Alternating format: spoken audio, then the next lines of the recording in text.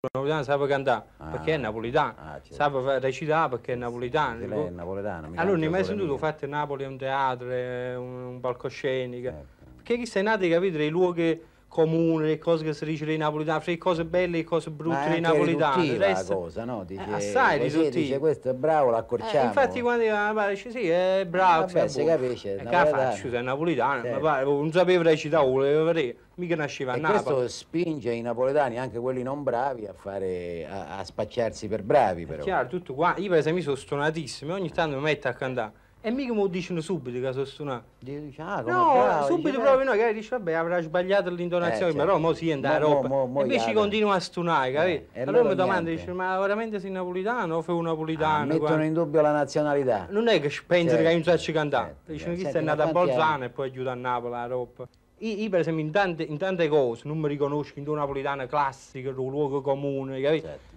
E questo è ancora più grave, perché un napolitano è sempre più la furba, che sa, capire che sa sci, sa- allora arriva una parte invece, e uno è emarginato due volte, un napolitano che è timido come me, perché tu arrivi là e chi ti guardano? Sempre come se fosse furbo, capito? Dicono attenti a chi che è napolitano, tu che sei timido e già si introversa, sta- chi ti dicono state a accordare, chi tu scompare proprio.